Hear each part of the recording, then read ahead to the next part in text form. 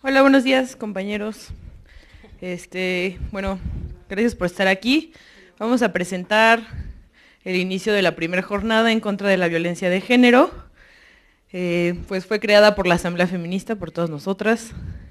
Y, y más gente que estuvo apoyando, igual todos los que van a participar. Bueno, nosotros decidimos ponerle de nombre a este evento Generando Diálogo, Conciencia y nuevas, nuevas Narrativas. Eh, pues se le agradece a todos los que participaron, los que están aquí, y a su apoyo a Rodolfo y Álvaro por todo el apoyo que nos dieron para que se fuera posible esta jornada. Muchas gracias. Y bueno, les pasamos la voz a ellos.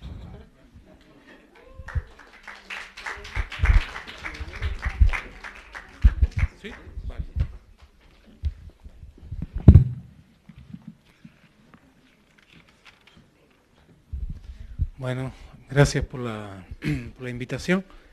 Eh, escribí una hojita, me dijeron que fuera breve, así que es con letra 12 y espacio simple, o sea que este, voy a ser muy breve, muy breve.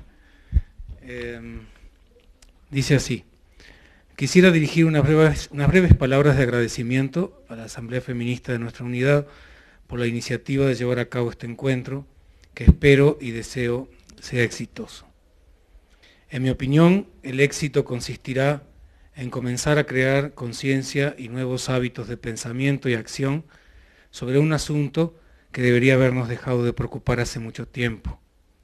Sin embargo, como en tantos otros temas, la dificultad ha sido siempre la misma, a saber, el arraigo de un sentimiento o una idea general y poderosa. Parecería que cuanto más arraigada está en el sentimiento una opinión, más vano es que le opongamos argumentos decisivos. Incluso parece que esos mismos argumentos, lejos de debilitarla, la fortalecen.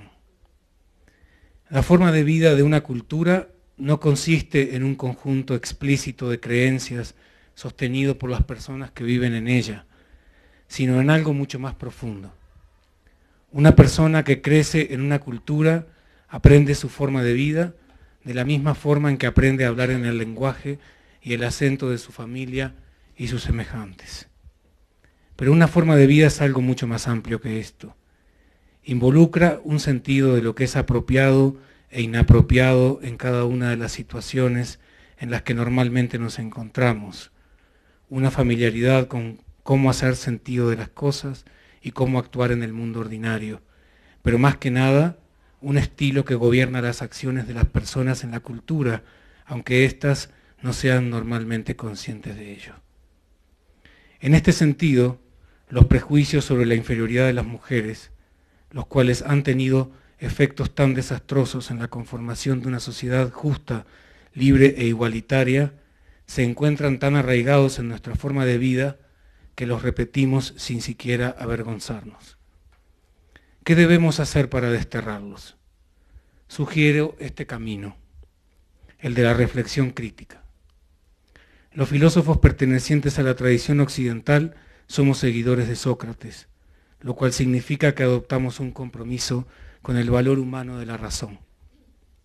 En República, Sócrates recuerda a sus compañeros de conversación que, comillas, no es asunto de poca importancia lo que estamos discutiendo, a saber, sobre cómo deberíamos vivir. Fin de comillas.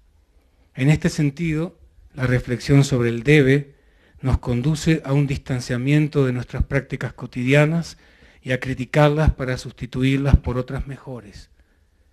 Cuáles sean estas dependerá de la ponderación racional del abanico de posibilidades que nos ofrece la experiencia, la experiencia vivida por nosotros y nuestros pares culturales, o por seres humanos que pertenecen a culturas remotas en el espacio y también en el tiempo. Aprender de la diferencia, esa es la clave. Para ello, ayudémonos de la historia, del estudio sobre las mujeres de otras latitudes, pero también, ¿por qué no bebamos de la imaginación literaria? En pocas palabras, lo que nos ha faltado es aprender de las mujeres. Atendamos a lo que la jovencísima Mary Shelley tenía para decirnos, o Jane Austen, Virginia Woolf o Iris Murdoch, por citar alguna de mis favoritas.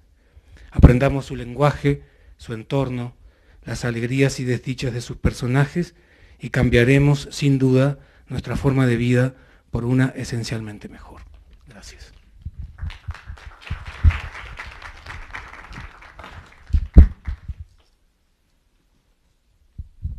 Bueno, muchas, muchas gracias por la invitación. De verdad no saben cuánto celebro que, que esto esté pasando y cuánto deseo que no deje de pasar. O sea, realmente es, es fundamental haber llegado hasta aquí y lo va a hacer aún más no, no soltarlo. Traje también más bien un texto escrito para no divagar demasiado. Una pancarta, una manifestación una canción que acompaña la batucada que la ameniza, un gesto que condensa la dignidad y la rebeldía. Sí, qué digna es esta rabia que sabe celebrarse a sí misma, este pundonor capaz de tramitar el dolor sin ocultarlo, esta mirada que puede y sabe cómo hacer de todas lo que es de cada una, que lo hace cuerpo con el afán de compartirlo. Hoy la rabia también es nuestra, pero la celebración seguirá siendo suya.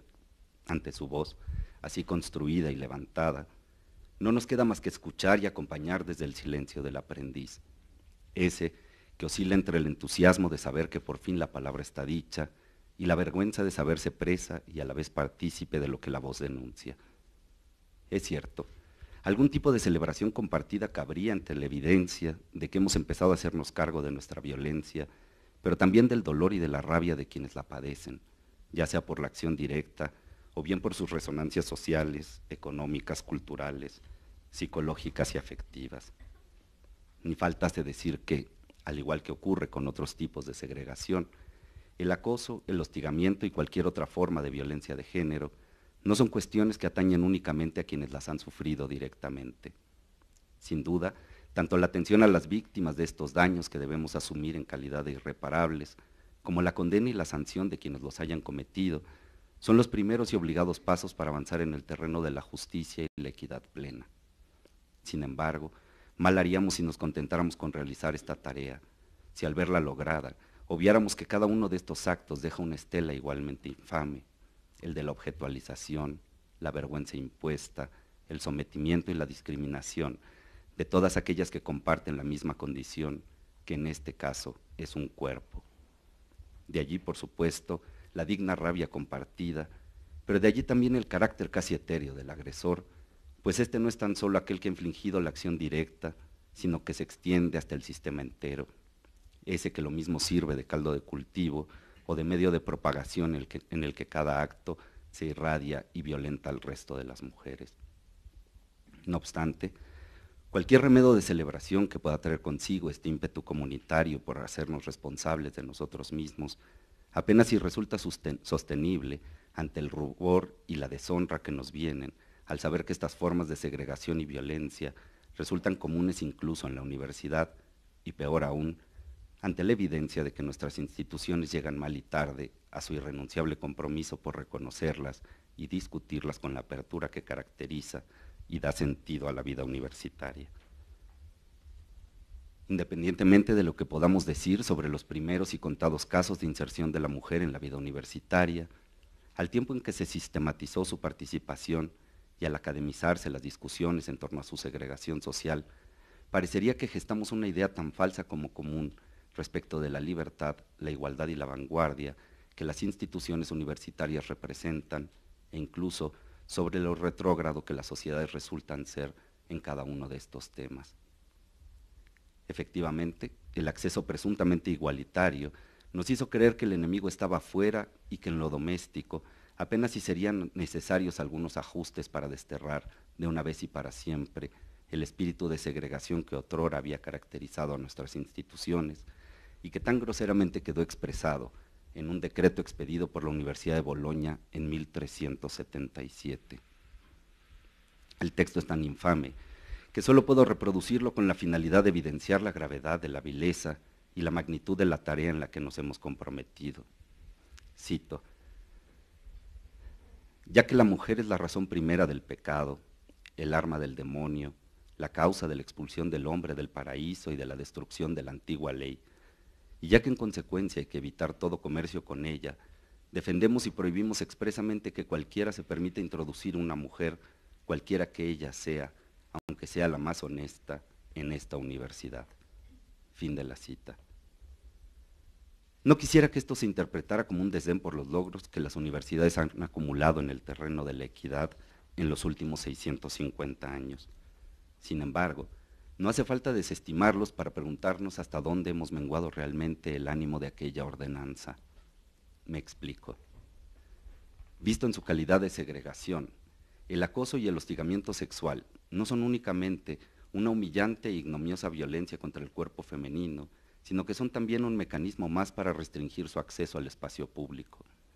Esta forma del destierro nos obliga a pensar si detrás de los reparos ante las sanciones sobre los victimarios, de las cada vez más usuales preocupaciones en torno a la posible extrarregulación de las formas de sociabilidad, o los reclamos por la desnaturalización de la sensualidad y la conquista, no se esconden en realidad una serie de ideas que sustentan prácticas de disciplinarización que no solo excluyen, sino que devuelven a la mujer al sitio en que había sido confinada, sin importar si éste se nos presenta tan degradante como lo es realmente, o si se le quiere adornar, aderezándolo de idílicas representaciones de lo femenino. El que nuestra discusión ocurra hoy en medio de la por demás obvia crisis por la que atraviesa la institución y hasta la vida universitaria, refuerza su carácter inminentemente político. Es cierto, desde siempre supimos que la cuestión era política y así debía ser tratada. Sin embargo, en el estado actual de la vida universitaria, ya no solo es evidente que la academización trae consigo una suerte de invisibilización de nuestras propias prácticas y violencias, sino que lo es también el ocultamiento de su dimensión afectiva. De allí que se nos haga cada vez más obvio que el abordaje universitario debe ser también una forma de activismo en la que el dolor, la rabia y el pundonor compartidos atraviesen y dirijan el análisis serio, la crítica punzante y la acción directa y colectiva. Eso que también desde siempre no tiene otro nombre que el de la militancia. Ya para terminar, solo me queda refrendarles que nuestra apertura, nuestro respaldo y nuestro compromiso son y seguirán siendo tan irrestrictos como activos. Ciertamente, ni el acoso ni el hostigamiento sexual son cuestiones que vayamos a resolver mediante la regulación y la sanción de ciertas prácticas lingüísticas o corporales. Tampoco se trata de un mero asegurar un sitio para todas y todos en el mismo mundo de siempre. Se trata de una mirada, de una voz, de un modo del ser que hasta ahora nos rebasa y del que tendremos que aprender a aprender, no solamente para hacer de esta casa un lugar mínimamente habitable, sino para empezar a construir ese mundo que nos hemos prometido.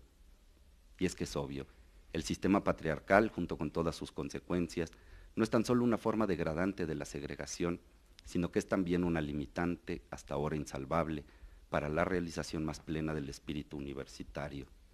Es por ello que, así visto, mi vergüenza junto con el compromiso se duplican. Muchas gracias. Muchas gracias a todos y todas por estar aquí. Gracias Rodolfo, gracias Álvaro. Y comenzamos.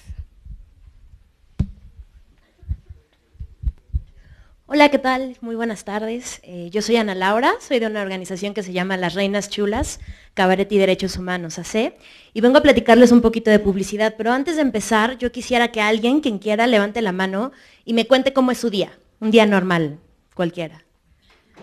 A ver, venga. Mm, como mujer en esta ciudad, día normal. Pues normal, odioso hacer tantas horas hasta acá. ¿Cómo empieza desde la mañana? ¿Qué haces? ¿Te levantas? Ah, me levanto, desayuno, pienso como, bueno, no, en realidad casi no pienso cómo me voy a venir vestida. Hago como dos horas hasta acá. Eh, pues no sé. Después vienes a clases. Sí, clases, después regresar, otras dos horas de regreso. hacer algo de tarea o algún ensayo. Ok, muy bien. Muchas gracias. ¿Alguien más por acá? ¡Cuánto entusiasmo! Venga. Luego va Sí, sí, sí, sí. sí. Ah. ¿En tiempo? Sí. Sí. Bueno, pues yo me levanto, me baño, este, salgo, tomo un camión, que me, bueno, un metrobús nuevo, que me lleve a auditorio y de ahí tomo un expreso y después tomo otro camión para llegar a la UAM. Llego casi siempre corriendo a mi clase o paso a la cafetería a comprarme una dona. Y luego estoy en clase, luego estoy en el ágora, luego como, luego tomo otra clase, luego bajo, igual, un camión, otro camión, otro camión, llego, este, juego con mi perro, este, hago tarea, veo mucha tele. Y ya como a las 10 me duermo, más o menos, un día normal. ¿Y a qué hora te despiertas? A las de, a las 6. A las 6 de la mañana, bendita tú. Muy bien. ¿Alguien más que quiera comentarme cómo es, cómo es un día normal que hacen sus actividades? A ver, por acá. Yo voy, yo voy. Ah, pues me levanto, em, eh, voy a mi librero a ver qué me voy a llevar para leer el día, en el día, eh, desayuno, eh, voy un rato al trabajo para ver si no necesitas nada, ya vengo a la universidad, tomo clases, leo un poco y... Te volteé a ver con cara de cosas. después de nuevo, no sé, tomo alguna otra clase, leo más y de regreso me regreso a mi casa. Eh, leo en lo que estoy regresándome a mi casa. Trabajo, eh, hago tarea y leo y me quedo dormido. Muy bien, muchas gracias. Por acá, usted señora. Hola, me voy a levantar ¿eh? para que me vean, muchas gracias. Hola, este, buenas tardes. Eh, mi nombre es eh, Angélica María de Torres 10, digo Díaz. y pues bueno, pues no sé qué, les puedo contar, qué, qué, será, pues mi vida en tanto dama es como la de cualquiera, que no la de una cualquiera, ¿eh? no, no, no, es muy diferente. Y pues, no sé, algo, algo importante es que, ay, ya sé, me acabo de casar. ¡Ay! ¡Aplauden, amor! Eso, con mucha emoción. Sí, sí, me acabo de casar. Sí, mira nada más, ¿eh? Mira nada más, ya sé. Impresionante la niña, ¿verdad? Y tú no pongas esa cara, mi amor, de tristeza. Te va a pasar. Te va a pasar, te va a llegar el día, porque ese es nuestro destino como mujeres, ¿eh? Te vas a casar, no te preocupes. Nada más un poquito de maquillaje y y lo logras, ¿eh? Te lo prometo. bueno, y asegúrate de que el novio pueda pagar algo así, ¿eh? Que son cinco meses de salario, ¿eh? Chicos, a trabajar, trabajar. ¿Eh? Ay, mexicano, pero europeo mil veces mejor, mi amor. Mexicano como que... Mm. Pero bueno, pues miren, les cuento, no sé, un día normal en mi vida es, yo me paro muy, muy temprano, como eso de las nueve y media, diez de la mañana. Eh, y en cuanto me despierto voy al tocador a cepillarme los dientes para que estos queden blancos y estén con cero caries, porque mi sonrisa es mi mejor accesorio. Enseguida bajo para ver que el desayuno de mi marido esté listo. Eh, para esto, Uli, Uli es mi sirvi... Mi. La señora que nos ayuda en la casa, sí. La señora que nos ayuda en la casa, eh, para esto ella ya hizo el desayuno, ya regó las plantas, ya lavó el coche, ya sacó los perros, ya hizo todo, porque ella empieza a trabajar desde las 6 de la mañana. Como por allá, ahí se levantan muy temprano. Qué activas, ¿eh? Qué activas. Me encanta. Y pues bueno, entonces ya nos tiene listo el desayuno a mi marido y a mí. Listísimo. Mira, te cuento a mi marido. Es un encanto. De verdad es un encanto y es súper comprensivo, ¿eh? Súper comprensivo. El otro día, Uli no llegó, no llegó a trabajar, que porque decía que no pasaba el camión. Y yo dije, ay, pues ¿por qué no toma un taxi, un Uber, algo así, ¿no? Pero bueno, total que Uli no llegó, que en realidad se llama Eulalia, pero yo le digo Uli, ¿no? Porque suena más bonito. y pues bueno, no llegó. Y entonces me tocó a mí hacer todas las tareas de la casa. Y yo dije, bueno, está bien, perfecto, no pasa nada. Y ahí estaba yo, muy entregada, así haciendo el desayuno, así dándolo todo por primera vez. Y estaba yo y en eso, ¡zas! Que le estrello los huevos a mi marido. Los del desayuno, mal pensada. Ay. Y entonces estaba yo muy mortificada. Estaba de verdad muy mortificada. Yo no sabía qué hacer y entonces me acerqué con mi marido y le dije, mi amor, mi amor, arruiné tus huevos. Y él me dijo, pues entonces prepárame unos chilaquiles. Y dije, ay, mi amor, pero no hay tortillas, no hay tortillas, ¿qué hago? ¿Qué hago? Y entonces me dijo, pues ve a comprarlas. Y yo, ¿yo? ¿Yo? Dije, bueno, tal vez esas son de las cosas que una que tiene que hacer para que el matrimonio funcione. ¿eh? Y pues bueno, ya salí, salí a tratar de eh, eh, buscar una tortillería, que es muy raro, pero en la cuarta sección de Polanco casi no hay, ¿eh? Casi no hay, es muy raro, pero bueno, por fin encontré una tortillería y ¿sabes qué me di cuenta? ¿Sabes cuánto, cuánto cuesta el kilo de tortilla? 12.80 con papel. ¡Baratísima! Está baratísima. No, no, no, me encantó, me encantó. Y bueno, ya regresé, le hice sus chilaquiles, le di su café para que despertara la vida y se fuera a ganar el pan con el cariño de siempre.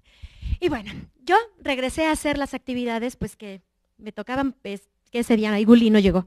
Y entonces, bueno, primero aromaticé, limpié y desinfecté el baño.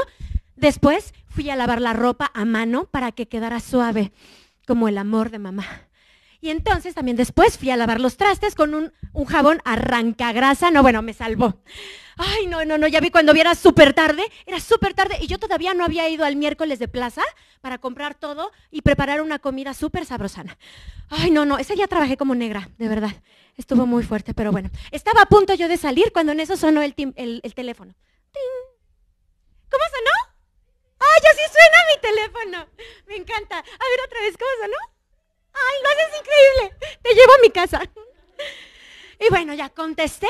Y del otro lado era un joven que me estaba ofreciendo la tarjeta Poder Mujer, que tenía eh, grandes beneficios, pero uno de los más importantes es que yo podía escoger diseñarla en colores rosas o morados y ponerle flores o estrellas. Ay, estaba, era muy tentador, era de verdad muy tentador, pero le tuve que decir que no, que no podía, que muchísimas gracias. Y el joven insistía y me decía que tenía grandes, grandes beneficios, como entrar al Club Premier First Class Black Diamond First en aeropuertos. Yo le decía que no, que en mi casa el que maneja el dinero es mi marido, que yo no puedo decidir sobre esas cosas, ¿no? Pero él insistía e insistía, ya sabes cómo son los de la tarjeta, ¿no? Insistía, insistía, insistía, entonces les tengo que decir que ya la verdad yo estaba hasta acá, estaba saliéndome de mis casillas porque todavía tenía muchísimas cosas que hacer y él insistía, insistía hasta que ya me hartó y yo le tuve que decir con mucha firmeza, no, gracias. Y entonces el joven sacó el naco que lleva en su ser, lo sacó y me dijo, Serena, Morena, relájate. O sea, relájate. Además, ¿qué se me hace que estás en tus días, verdad? Y me colgó. Y no. Miren, les voy a aclarar dos cosas. Yo morena, ni en partido. Ni en partido. Y segunda, no estoy en mis días. Porque si estuviera en mis días, yo hubiera pataleado y gritado y me hubiera vuelto loca. Porque eso es lo que hacemos todas. Todas, todas, todas nos ponemos así locas. Y entonces, ¿saben qué? Después dije, no, Angie Mary, Angie Mary, cálmate. Relájate, no te pongas así. No eres tú cuando tienes hambre. Mejor cómete un chocolate. Y entonces sí, lo hice. Le di una mordida y al instante, mira, estaba yo de un contento. Ay, no, no. Entonces decidí darme un premio pues por mi cambio de humor, ¿verdad? Y salí a hacer una actividad que pues, se los tengo que confesar, es parte de mi vida. Porque hay dos actividades que una mujer no puede evitar, que es llorar y comprar zapatos. Así es. Entonces llegué y entré a la tienda. ¿Y saben qué? Me sentí comprendida, me sentí amada, me sentí querida porque la tienda me entiende. Así es. Y estábamos todas las que íbamos allá a comprar, nos sentíamos así, porque pues es que es lo que se pasa cuando entra una a comprar. Y entonces, de repente todo cambió porque había unos zapatos ahí, 50% de descuento y meses sin intereses. Y entonces estábamos todas ahí agarrándonos el chongo por eso. Y estábamos así de quién se la queda, quién se la queda. Y chicas, les voy a dar un consejo. Ustedes tienen que luchar por lo que quieren, por las cosas importantes, como los zapatos. ¿Ah? Y entonces yo le dije, esos son míos, así que le dije, quítate marginal. Y me quedé con los zapatos. Me encantó. Oye, ya, regresé a mi casa con mis zapatos. Ay, no, yo me sentía una estrella más del canal de las estrellas. Y estaba ahí, de pronto abrí la puerta de mi casa y un olor. Un olor extraño. Algo como que me hipnotizaba. Era como que, como que me pasaba algo con ese olor, como que me daban ganas de, de besar, de abrazar, de, de, como de hacer, como de, como de, besar y abrazar muchísimo a, a mi marido, a mi marido, a mi marido. Es que saben que es el efecto hombre. Huele a verdadero hombre. Es el desodorante de mi marido. Ay. Y bueno, el encanto de mi marido. No ese día me trajo un regalo, ni siquiera era mi cumpleaños, pero me trajo un regalo. Adivinen qué me regaló. ¡Ay, mi amor! No, ni que fuera 8 de marzo, basta. No, no. A ver, algo mejor todavía. ¿Un anillo? Bueno, podría, pero no. Mejor, mi amor. Piensa en grande. Piensen en grande, chicas. Piensen en grande. ¿Una qué? ¿Qué crees que es mi cumpleaños? No. Me dio una aspiradora. Ay, no saben, ¿eh? Devora todo. Devora todo. Y yo después dije, claro, mañana se la doy a Uli para que la use y no se canse tanto. Ay, aparte soy buena jefa. Me encanta. Y bueno, estaba yo tan contenta que entonces me dormí en el regazo de mi marido mientras hacíamos nuestra actividad favorita, ver la televisión. Y de pronto, mientras estaba dormida, tuve un sueño. Era un sueño muy, muy extraño, pero, ay, me da un poco de pena contarlo, pero, bueno, caballero, ¿me permite contar mi, mi, mi sueño? Ay, muchas gracias. Siempre me da miedo decir, ¿y si no me da permiso, qué hago? ay, ay, sí. Muchas gracias, muchas gracias. Pues soñé que, que Uli ya no regresaba a trabajar. ¿Quién sabe por qué? Uli ya no quería trabajar con nosotras y entonces se lo decía a mi marido y él, y él me contestaba, pues ahora vas a hacer tú todas las tareas. Y yo así de, ¿perdón? Y en mi sueño entonces me revelaba, sí, me revelaba. Y le decía, no, si la casa es de los dos, los dos hacemos las tareas, ¿eh? ¿eh? Y además no es difícil, no es difícil porque mira, pan, jamón, queso, pan, hazte un sándwich. No es difícil. Y ese hoyo donde se echa la ropa se llama lavadora. Y si metes, no te corta el brazo, ¿ah? ¿Ah? Es muy fácil. Y entonces yo me sentía tan bien de decirles a mi marido. Y sentía que me liberaba. Sentía que saltaba el burro de planchar hacia la libertad. Decirle adiós a la rutina y a los quehaceres. Y cuando desperté, el burro seguía ahí.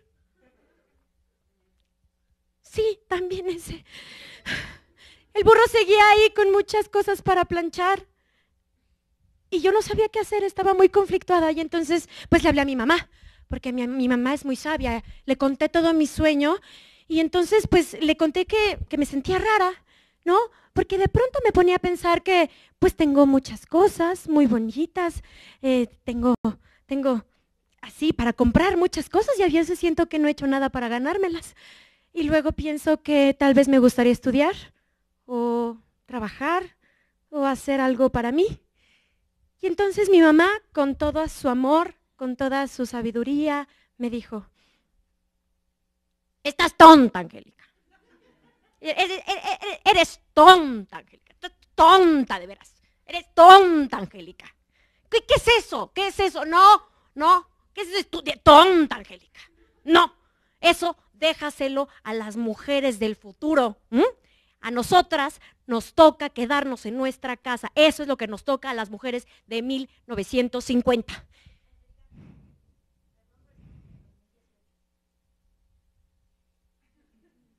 No. ¿Cómo crees? No. No, no, no. No, no, no. Si ayer estaba viendo la televisión y vi un comercial que decía, Pinol, Pinol, aromatiza, limpia y desinfecta. ¡Uh! No. No, no, no. Ya sé cómo es 1950. El PRI está en el poder. ¿Mm? 1950, ¿no? Sí. ¿No? ¿No? Regresó. Ay, no. Ay, no, ya, ya sabía que había algo mal. Ya sabía que había algo mal porque el domingo prendí la tele y ya no estaba Chabelo. Ay, pero bueno, los dejo. Muchísimas gracias. Hasta luego. Gracias, Angélica.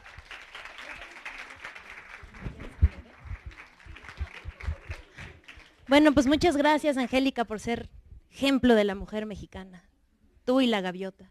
Em, pues nada, eh, básicamente lo que vimos con, con Angélica fue este, este símil que tiene la publicidad en la vida de todos y todas nosotras, queramos o no queramos, seamos conscientes o no conscientes de ello.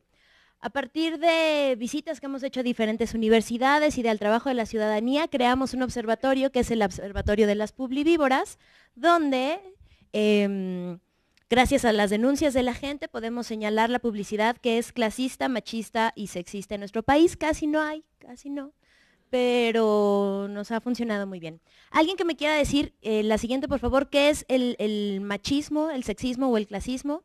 ¿Qué idea tienen como en general de esos conceptos? Si no está ahí, lo pueden leer. Eh, pero quisiera más bien escucharle si alguien tiene algún comentario, por ejemplo, si me pones la siguiente, Edgar, porfa, em, sobre qué es, qué es racismo, ¿a qué le suena que es el racismo?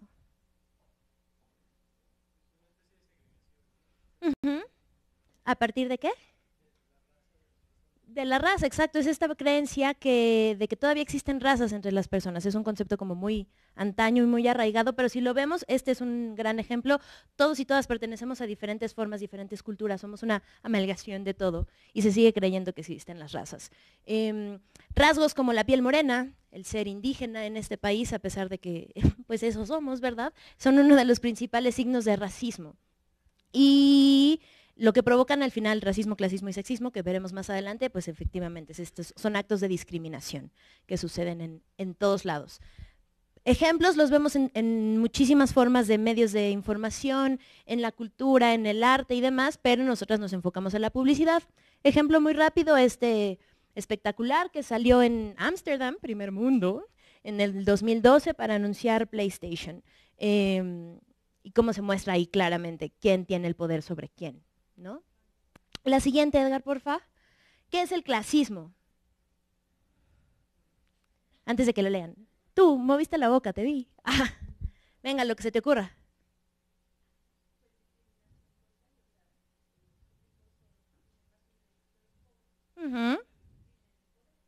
Efectivamente, es, es, este gozo de ciertos privilegios a partir de la clase social. Para mí es como a veces muy difícil explicar el clasismo y decir por qué es grandes comillas malo.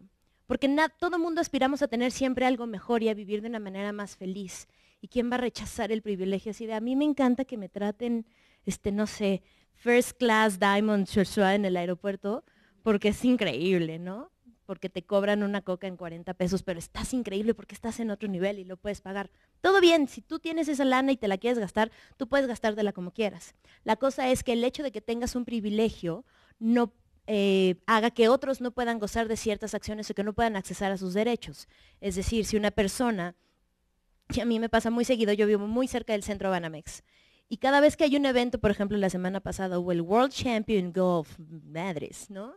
Está increíble, qué padre que puedan jugar golf, pero todas, a, nosotros, a todos los que vivimos en las colonias aledañas, nos friegan un montón porque cierran las calles, em, hacen que tú transeúnte de todos los días, te vayas por otro lado, des una vuelta fácil como de unos 15 minutos, porque la avenida principal la dejan solamente para quienes tienen acceso a ese, al torneo de golf. Y además utilizan recursos públicos para hacer, ese cierre de, de, tránsito con patrullas de policía federal, patrullas de policía estatal, de tránsito y demás. Y uno dice, ¿por? Todo bien, hagan su evento, me parece increíble que, haya ese apoyo al deporte, por decirlo de alguna manera, pero claramente la clase y el nivel de personas que accesan a este tipo de eventos es totalmente distinto al de los ciudadanos y ciudadanas que todos los días recorremos las mismas calles. Y además el clasismo es una cosa bien imperceptible y luego eh, es una mezcla rara de, no es que en México no somos racistas, somos clasistas, no es que no somos clasistas, somos racistas. Está interseccional la forma en la que nos desarrollamos y en publicidad la vemos en cosas tan fáciles como esta. ¿Cansada de sentirte como esclava? Kaboom. ¿No? ¿Por qué? Porque las mujeres que hacen, porque realmente quienes hacen las tareas del hogar, ¿quiénes son? Las mujeres. ¿Y cómo crees? Si vas a ser una esclava, pues no te preocupes, nosotros te rentamos unas esclavas. Dice, literal, no se alcanza a ver, dice, si busca una doméstica para su casa o oficina, bajo las características que, eh, características que desee de edad, habilidades y disponibilidad de tiempo, usted está en manos seguras. Se llama tu doméstica, el, el servicio que ofrecen. Y entonces, pues nada, pues más exclusión, más segregación, más discriminación. La siguiente, porfa, machismo, sexismo. Venga. ¿Alguien que quiera comentar? ¿Mm?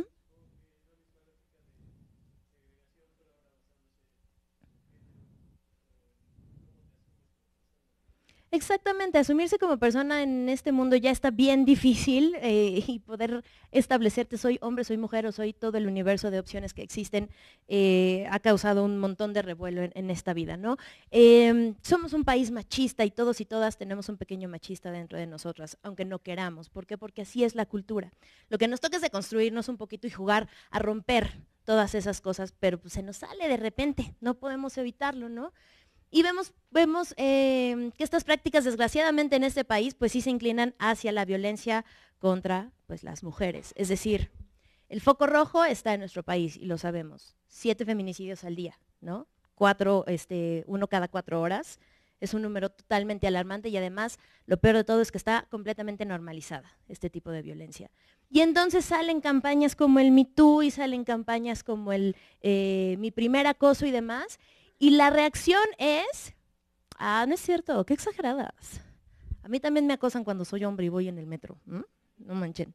Cositas así que no dudo que sucedan, cada quien, pero que le quitan el peso realmente a las situaciones que estamos viviendo y las vemos reflejadas en grandes tonterías como es que un anuncio de relojes ponga que sus juguetes son un perro y una chava, ¿no? Y entonces te preguntas, ¿neta? Así de, simple y de llano y yo consumí todo eso y además no me di cuenta, porque esto lo vemos todos los días en todos lados. Neta, una mujer tiene que representar un detergente, porque además como las mujeres lavan, somos muy felices cuando le echamos pinola a la lavadora o cuando tallamos a mano porque nos salen flores de la cola, güey. Es caminamos y es así como de, no manchen, y yo me acuerdo si de chiquita yo olía a mi mamá, mi mamá no olía flores, por mucho que lavara, la verdad. Entonces, son como estas ideas que se van agarrando las personas creativas y que van dejando estos mensajes. La siguiente, por favor. Y luego nos dicen, no, y es que ustedes publivivas son súper exageradas y regañonas, no sucede. Estos son pequeños datos de la encuesta nacional contra de la discriminación en México. Y ya va a salir en unos meses la que siguiente, pero bueno, estos datos son importantes. El 20% de las personas en México no se sienten a gusto con su color de piel. Y entonces pensamos, ¿cómo relacionamos esto con productos, con merca, con publicidad? L'Oreal el año pasado salió, sacó un, maquillaje color, ¿cómo se llamaba? Ay, ay, era como tono mexicano, color mexicana. Y era así como, mm, ¿cómo será? México es el país, eh, cabe señalar, donde más tintes rubios se venden en todo el mundo. ¿no? dices, todo bien, tú te quieres pintar tu pelito de rosa, de morado, de güerito, haz lo que quieras, pero ¿de dónde vienen como cada una de esas acciones que te llevan a que no sea un gusto, sino a lo mejor una cosa por, por encajar en algún estereotipo, en, en, algún, en algún modelo? Y el primer factor de división en la sociedad mexicana es la riqueza. ¿Cuántas personas y ustedes viviendo en Santa Fe, creo que pueden ver, eh, viniendo hasta Santa Fe, pueden tener muy claro el panorama de esta división, de esta segregación, de estas diferencias.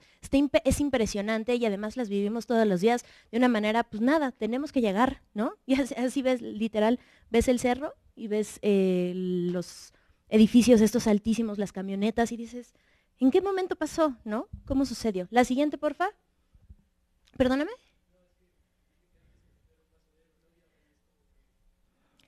Exacto, es como digo, güey, ¿dónde trabajas en Santa Fe, güey? Ah, no mames.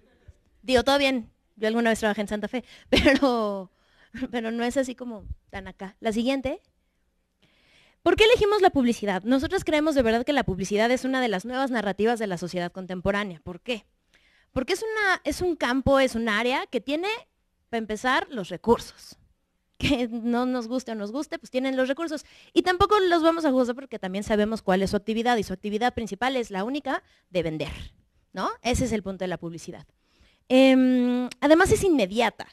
Tienen, tienen, un campo de acción muy inmediato de seis meses a lo máximo, donde reflejan muchísimas cosas aspiracionales, metas, objetivos, necesidades y crean esas necesidades. Y además marcan pautas de conducta en las cosas que vemos muy rápido, y ustedes me los van a decir, ¿cómo son las mujeres que aparecen en los comerciales? Güeras, blancas, delgadas, ¿no? Senos grandes. ¿Qué tienes? ¿Qué tienes de malo? ¿Quieres? ¿No está el micro por ahí? Échale.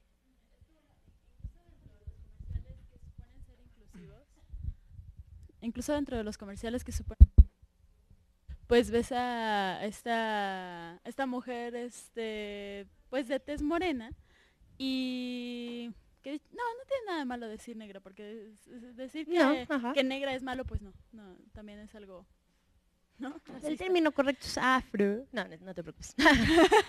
Ahorita les cuento. sí, bueno. Eh, pero bueno, el punto es que nada más aparece como una, ¿no? Y es como, bueno, es que queremos ser inclusivos, ¿no? Y, y, y entonces vamos a poner de solamente a una persona, ¿no? De, para que vean que sí somos inclusivos, ¿no? Que la claro. marca es inclusiva. Y que además va a tener ciertas características, o sea, no va a ser una persona jamás este, con alguna discapacidad motriz.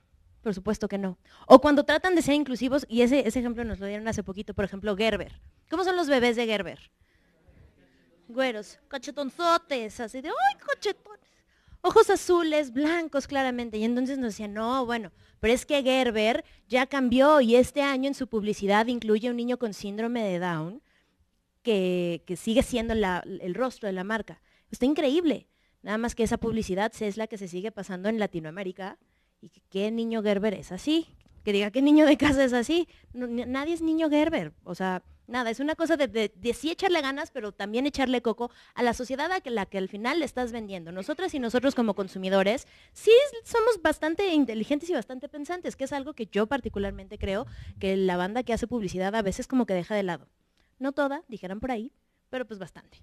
Y entonces, vemos estas características, cómo son, eh, cómo son los cuerpos, cómo las mujeres son un objeto. Es decir, está padrísimo que Carl's Jr. venda hamburguesas, pero sí me parece muy raro que las vendan con una chava en bikini comiéndosela así, así de, güey, no, se te va a caer la hamburguesa, no hay un pedo, ¿no? Es como de, que me caiga la catsup total. Es, es fácil de quitar de mi traje de baño, porque así comemos hamburguesas todos y todas, ¿no? La NFL, la chava comiendo rufles, ¿no? Así de, mm, me voy a dar esa rufle y voy a bajar la palanca porque mm, crunch. Que es así de, estás vendiendo papas, ¿no? En, el mundial. Porque aparte los niños tampoco salen bien parados. Es decir, ¿cómo son los chavos que salen en la publicidad? Mamados, así, este, con, con aceite, exacto, porque ¿cómo no son brillosos así, naturales? No manches. Claro, es, es como una cosa de, Güey, qué increíble. Y además son imbéciles, no son capaces de cuidar a sus hijos e hijas en el caso de que las tengan. Solamente beben cerveza. ¡Oh, chocan sus pechos! No sus pechos unos con otros, sino los pechos entre ellos. Es como de, ¿neta sí somos? La siguiente, por favor.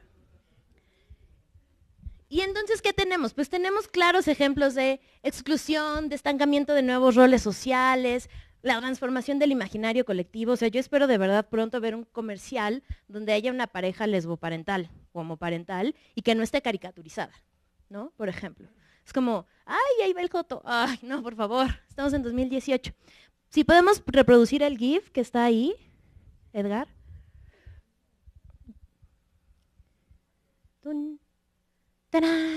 Nos decían, a ver otra vez porque es como como de, a mí me costó, la primera vez que lo vi, sí dije, ¿qué hubo? ¿Qué pasa? ¿Qué pasa? ¡Tarán! ¡Tarán! Entonces uno dice, ah, o sea, ¿cómo? Si te pones esa crema, mm, no, te vas a aclarar, qué padre, porque es lo que todos deseamos, ser blancos. Y nada, entonces viene también desde los productos, el producto pues es una crema aclarante que antes sí lo decían como cuando eras morenita y pasaban como un filtro así photoshopeado y ya eras blanca. Y ahora lo dicen, no, es que la contaminación, los poros se te cierran. Bitch, please, por favor. La siguiente, por favor. Hay un documental que se llama ¿Y tú cuánto cuestas? Entonces está ridiculizando un anuncio de que si te pones una crema, te haces negro. Y lo más curioso es de que está tan bien ridiculizado que dice, Afro Cream. Entonces, sí. Ajá, luego, ajá, la onda allá, así como aquí estamos como dándole duro al feminismo y además tuve la oportunidad de platicar con varias banditas de allá, pues allá la onda de ser negro sí está muy cabrón. O sea, más allá de ser inmigrante, más allá de ser este indocumentado, está muy fuerte. Y entonces dices, pero ¿por qué sigue pasando? Si además están en Estados Unidos, primer mundo, marcan las reglas y demás, pues porque también hay una mitad de la población que sí dice y sí cree de corazón que ser blanco es ser puro, que ser blanco es el poder. Y luego yo me lo, paso para acá, para México, y decimos, bueno, ¿y entonces nosotros por qué discriminamos a la banda indígena? ¿Qué es? ¿Qué es lo que nos hace sentir mejor o mayor? Si hacen ese ejercicio, hace poquito en, en un, en un conversatorio con Conapred, estaba con una actriz que se llama Mónica del Carmen, ella es de Oaxaca, y fue invitada para narrar sus experiencias a partir de, de su, de su carrera en la actuación en el cine, en el teatro, particularmente en el cine. Y nos decía que era muy cañón, porque ella, además para mí yo la veo, ella es guapísima y además tiene un talento así impresionante, tiene un Ariel, o sea, está muy cañona.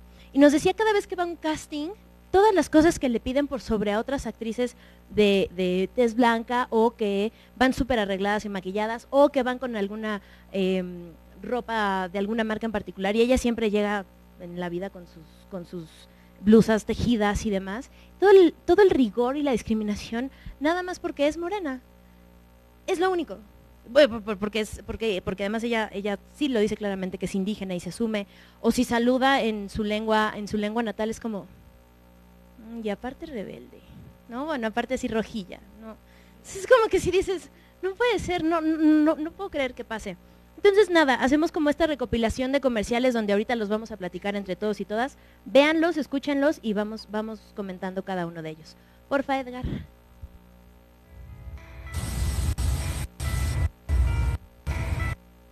Si quieres, ponlo desde afuera porque creo que se va a estar trabando.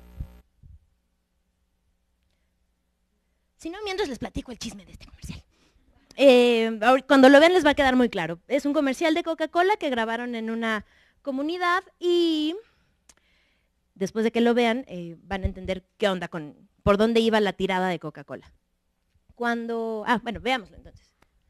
No sé, si me callo.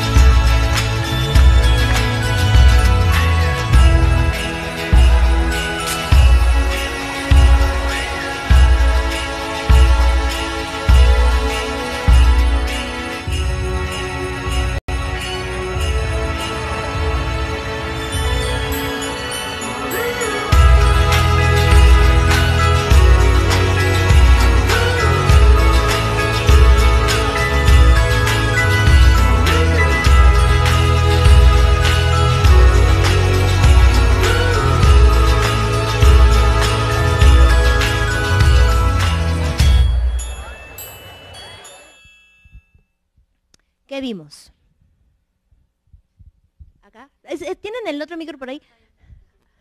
Allá atrás, atrás, atrás, atrás. Cuidado, Angélica María. Pues lo, lo primero que a mí me hizo ruido es como, de- bueno, lo que ya se dijo, así como el grupo de, de jóvenes blancos en su coche viniendo a salvar a, a, a la otra parte de la población, como, sí, somos héroes. Y obviamente, y, y, por ejemplo, ya al final, lo que re- le regalan, obviamente lo que necesitamos para nuestra salvación es Coca-Cola, obviamente. No, no podríamos crear otra clase de, de- de cosas, ¿no? Como, eh, le- como leyes inclusivas, no. Queremos Coca-Cola. Es que limpia re bien la plata la coca. Pero ya en serio, eh, ¿alguien más tiene otro comentario del, del comercial?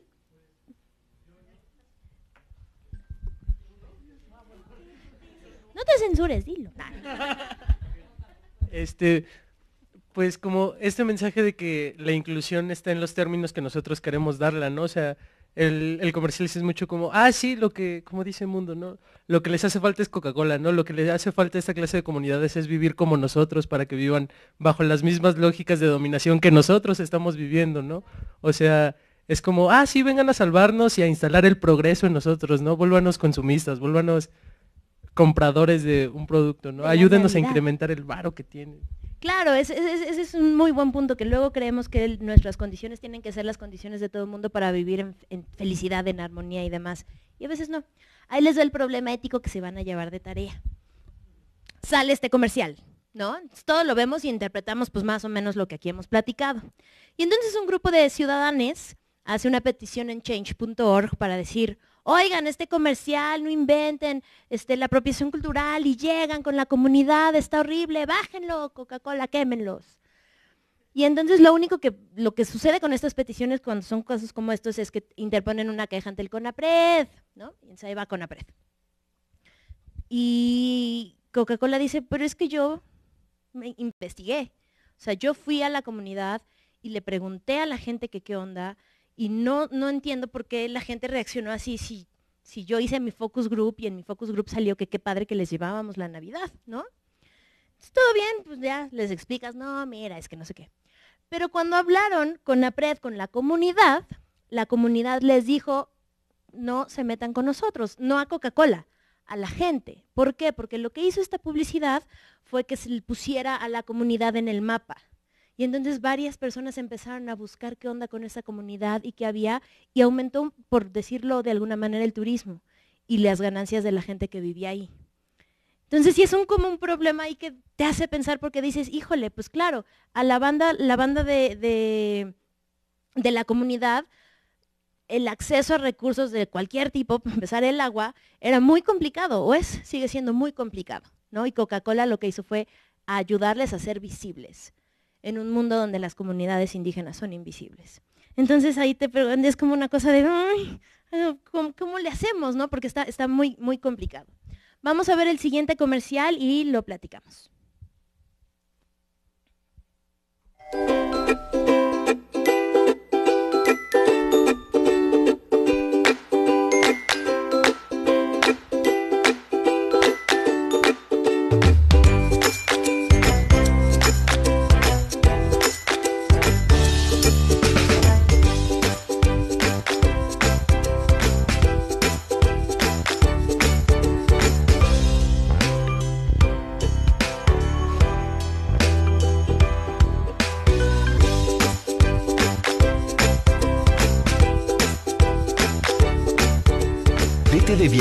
Quien más quieras, cuando quieras, con llave.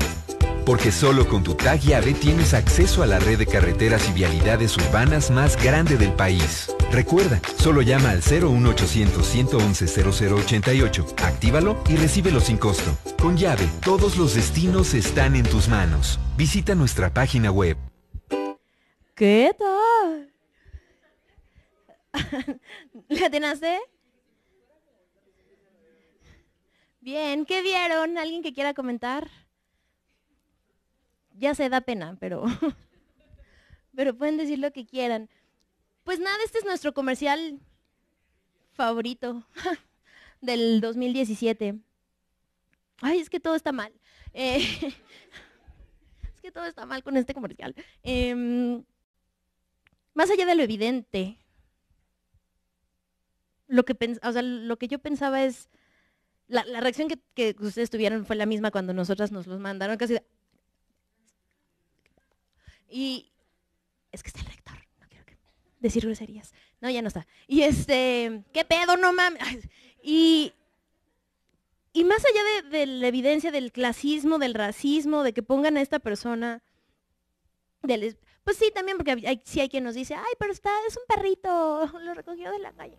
Sí, pero no estás viendo todo lo que hay antes, más arriba, ¿no? Las condiciones de la persona afro. México es un país con mucha comunidad afrodescendiente. Toda la costa chica de Guerrero son personas negras, tal cual, pues, ni las pelamos, ¿no? No existen. Y, y lo peor es que está hecho con recursos públicos.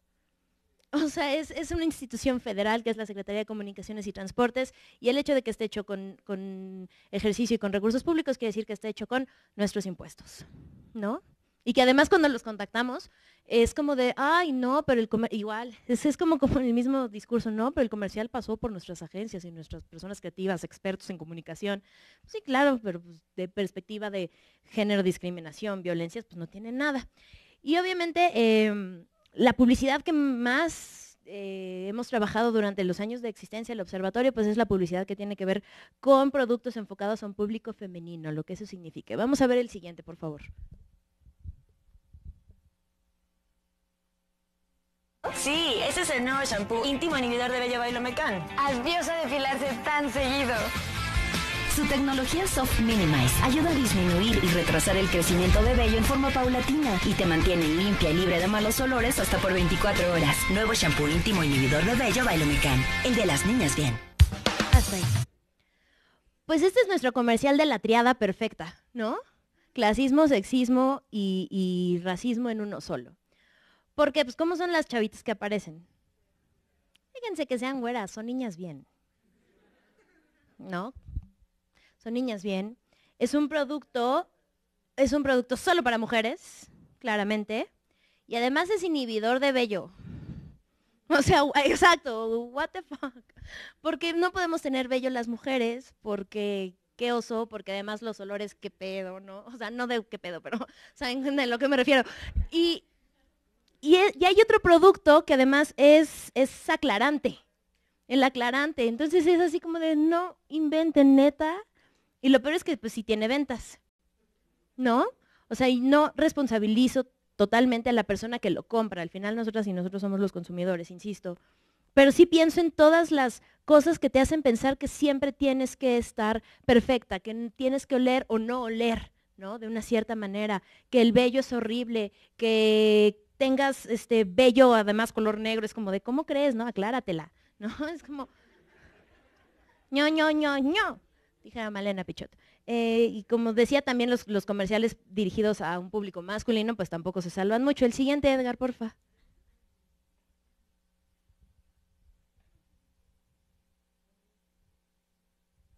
Lo está haciendo de emoción. Si no, igual, si lo podemos ver de afuera. Bueno, cabe señalar que Lomecan y es parte de mm, un laboratorio que se llama Genoma Lab y ellos hacen su propia publicidad, es decir, no contratan a una agencia, sino que todo lo que vende Doctor Simi, Shampoo Crece y ah, todos los productos que últimamente existen en la vida son de esa empresa.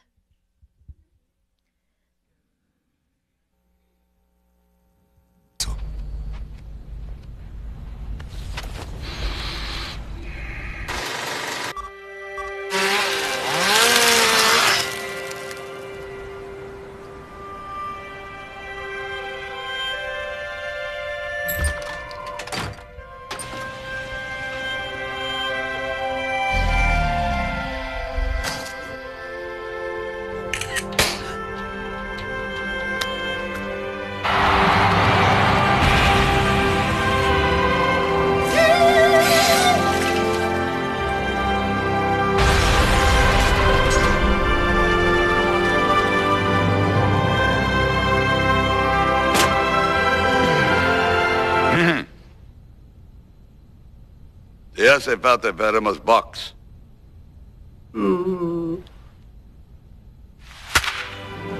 Somos Box. Patrocinados por Tecate. Evite el Híjole, Tecate. Ah, Tecate es nuestro, nuestro, nuestra marca ganadora cada año del premio a la, a la trayectoria. no sé por qué, no. Em, con Tecate es muy chistoso. Em, nada, hacen este comercial que evidentemente y ante los ojos de nosotros que ya vimos como de por dónde va la plática, pues sí, tiene su ondita de clasismo, tiene su ondita por el Vax, ¿no? Porque ¿cómo vas a decir Vox en español? Es Vax. Em, tiene a Silvestre Stallone diciéndole los hombres que lloran que son jotos y al final ser joto es que ser afeminado y ser mujer en este país, ¡ah! ¿no? Entonces tiene todo su mensaje. Pero entonces tú vas y le escribes a Tecate y le dices, Tecate, la gente está denunciando y está eh, nominando a tus comerciales, todos, en todas las etapas que ha tenido Tecate en los últimos cinco años. Y te dicen, cuando te contestan, porque pues tampoco crean que nos hacen mucho caso en la vida, em, que mm, hay un instituto regulador de las agencias de publicidad que se llama la MAP, la Asociación Mexicana de Agencias de Publicidad, que les pone una, una ¿cómo se dice? Como, una, como un castigo cuando irrumpe con su código de ética. Y ya como fuera de, de la plática oficial nos dicen, sí, pero pues, claro, ese, ese, ese castigo, esa fianza que se tienen que pagar es de 200 mil pesos. ¿Saben qué es 200 mil pesos para Tecate? Nada. Existen unos premios que se llaman los EFIs, que son los premios a la efectividad en la publicidad en México, y Tecate siempre se, lleva el EFI de oro. O sea, es de todas las categorías de bebidas, de servicios, de social, de lo que sea, todo lo que gana siempre es Tecate, es decir, que es el producto o la publicidad con más ventas en nuestro país. Y entonces vuelves a pensar, mm, ok, ¿cuál es la causa de muerte entre los hombres jóvenes? Número uno. Manejar en estado de ebriedad, ¿no? Todo bien, todos nos echamos unas chelas, todo mundo nos hemos emborrachado brutal. La cosa es cuando no hay como un, cuando hay como esta, esta perpetuación de, no, hombre, yo borracho manejo mejor, ¿no? ¿Por qué? Porque soy hombre, porque ya lo quemaron. no manejas mejor borracho, te lo dice una que ya lo vivió. Em, y siguen haciéndolos y no pasa nada. ¿Por qué? Porque siguen consumiéndose y siguen, sigues tú viendo los comentarios en Facebook que tienen mil likes y mil reacciones de jajaja y de ay, qué chistoso. Y si a alguien, alguna chava se le ocurre poner un comentario de su comercial es machista, se la acaban, ¿no? Ya, así de ya morimos, gracias, bye, cierra tu Facebook porque no vas a tener vida después de esto. Nosotros particularmente creemos que hacer el acercamiento con las empresas y con las agencias de publicidad es lo mejor que podemos hacer desde un lado un poco más humorístico, un poco más cercano, o al menos eso intentamos, porque de verdad creemos que el humor y el teatro cabaret es nuestra herramienta fundamental para lograr un cambio. Al menos eso es lo que a nosotras nos ha funcionado. Y vamos a ver este comercial como ejemplo y le seguimos. Porfis, Edgar.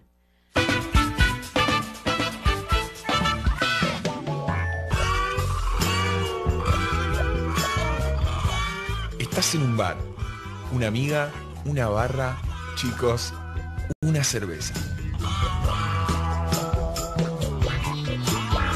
Tomás un trago, juntas coraje y encarás.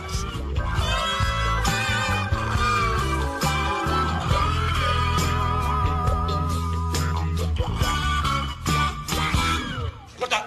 Eh, silencio, chicos, un segundo. Chicas, ¿qué están haciendo? Está- íbamos a hablar con los chicos porque parece que hay onda. No, ¿qué están haciendo con la cerveza? Ah, nada, siempre tomamos cerveza. Ustedes no pueden tomar cerveza.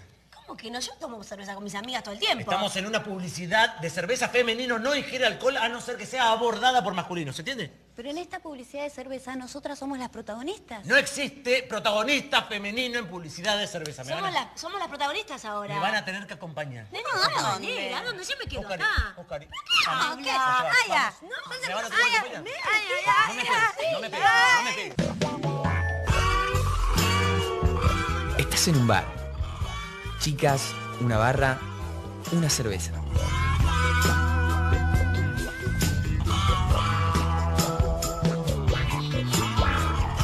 Tomás un trago, juntas coraje y encarás.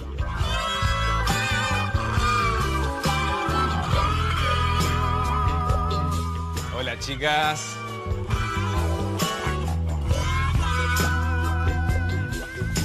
A que alguna se llama Agustina. ¿Cuál va por colectora?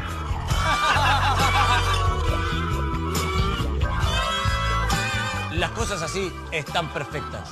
Perfectas, como esta cerveza.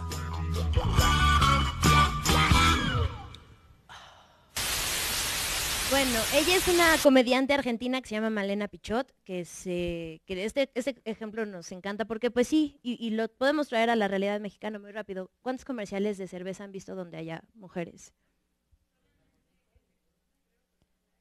Corona Light. Claro.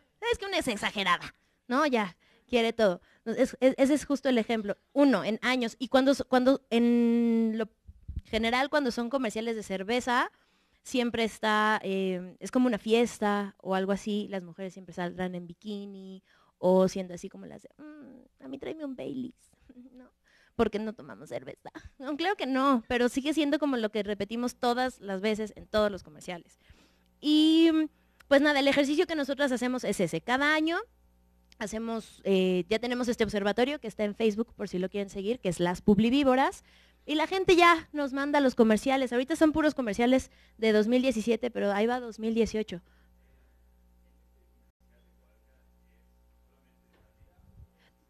No, es una sátira, totalmente. Ajá, no, no fue publicidad. No tuvo como mayor difusión, ¿verdad? Pública y demás. No, no, no fue simplemente un ejercicio. Es una serie, ah, exacto, es una serie de diferentes comediantes argentinos comandados por esta chava y nada, ojalá se hicieran un poco más el ejercicio dinámico.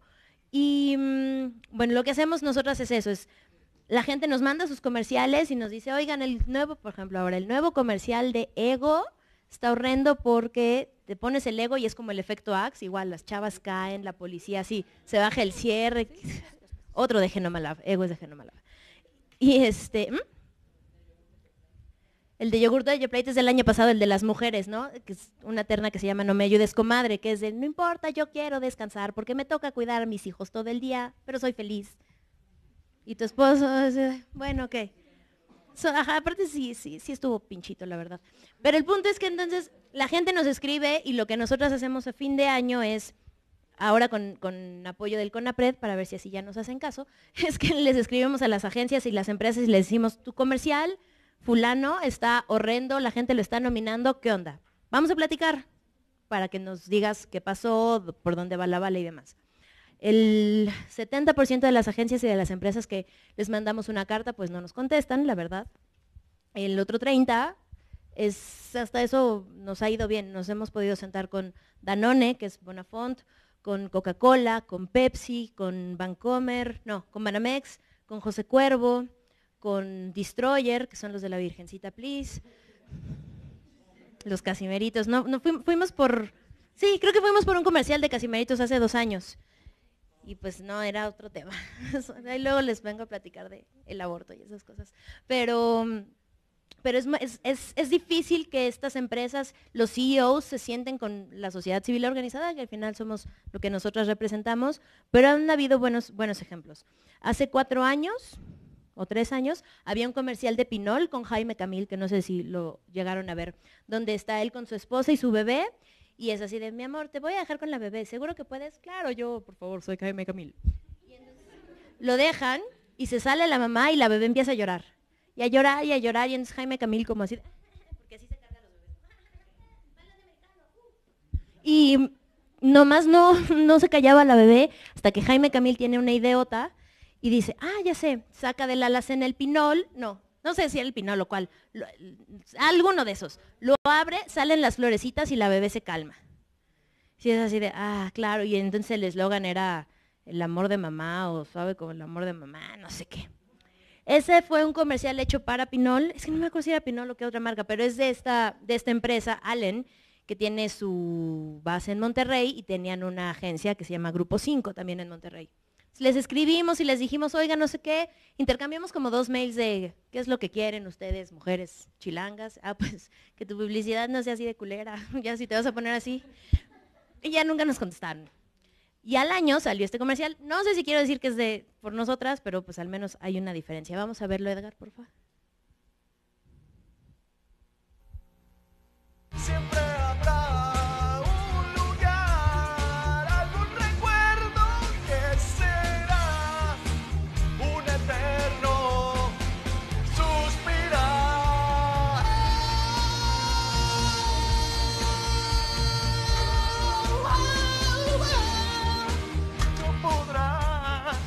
Descubre la nueva experiencia de lavar los trastes con el nuevo Eficaz. Tú como él, vive un momento eficaz. ¿Qué es este caballero? Ah, ¿qué es? ¿Es papá? ¿Es soltero? ¿Es gay? ¿Es mutante? ¿Es un godín? La realidad es que no lo sabemos, ¿no? O sea, podemos interpretar, pero no sabemos. Y al menos ya vemos a un hombre lavando, cantando una canción de Cristian Castro. Que es, "Güey, ya, gracias. Le están, le están, al- algo provocamos, quiero pensar. nunca, nunca lo aceptarán ni nosotras diremos que sí lo hicimos. Pero, pero al menos ya vas viendo poquitos cambios. Ahí va, de a pasito, ¿no? Este año en particular, o sea, el año pasado, 2017, creo que ha sido el año en que más dificultad hemos tenido para que la gente sí nos, diga claramente las ternas de, la publicidad sexista, clasista y machista. O sea, sí ha bajado en comparación con hace cinco años. Y de repente, pues también sale otra vez Tecate y de repente sale otra vez, eh, ¿quién será? El- los de Lomecan y de repente Coca-Cola tiene sus deslices, pero ahí va, como que se está haciendo como un buen trabajo. Lo que nosotros proponemos es que ustedes que ya tienen como los lentes y los ojos como muy bien enfocados, pues nos sigan mandando sus comerciales, nos sigan mandando la, no solo comerciales en video, puede ser de radio, puede ser en el metro, puede ser la foto que tomen del espectacular de todos lados. Y nosotros lo que nos, nos, nos gusta hacer pues es eso, es hablarle a las agencias a las empresas y decirles, oigan, la banda nos está diciendo que su publicidad está cumpliendo con, pues no, al revés, no está cumpliendo como con lo que merece, ¿no? Al final eso, eso es lo que, para quien va dirigida es para nosotros y para nosotros. Somos los consumidores, somos los que lo vemos, queramos o no en todos lados, porque ya la publicidad está en todos lados. Además, o sea, es increíble que de verdad te tengas que esperar esos cinco segundos en YouTube para ver tu video o que estés viendo un video en Face, se corte y empiece algo de publicidad en tu timeline, en tu correo, así el primer mail que te sale es de publicidad. O sea, está en todos lados, caminas en la calle, están las pintas, todo bien, me parece muy creativo, invasivo también. Pero si ya está en todos lados, al menos respeten que tenemos como dos centímetros de frente y podemos hacer eh, y ver otras cosas más, mucho más distintas. Entonces, mándenoslas, eh, nosotras haremos lo propio y en esta línea de denunciar y qué es lo denunciable y que no, tampoco se callen cuando haya violencia en las instituciones como las escuelas. Nos ha pasado de un mesecillo para acá que con todo el movimiento de acoso y el Me Too y demás, a nosotras que realmente no trabajamos ese tema de la violencia nos llegan casos de, oigan, ustedes fueron a mi escuela y resulta que mi maestro nos hizo sentarnos en la primera fila usando falda para el examen de no sé qué, en ingenierías o cosas así. Entonces, nada, lo que nosotras no podemos hacer es resolucionar el problema directamente, pero podemos canalizarles con quien sí lo hace y con quien sí trabaja. Así que no se queden calladas ni callados. Si alguien tiene una duda, comentario, este es el momento. Si no, muchísimas gracias por habernos recibido. Gracias.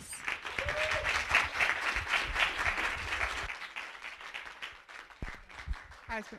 Bueno, nosotros, bueno, la asamblea queremos agradecerles por haber venido. Yo creo que todos la disfrutamos mucho. Y bueno, a ustedes queremos invitarlos al siguiente evento que es protagonismo femenino en las, en las artes. En el arte, perdón. Sí, si se quieren quedar al evento. Gracias. Gracias por venir a todos también. Gracias, Ana. Gracias. Gracias.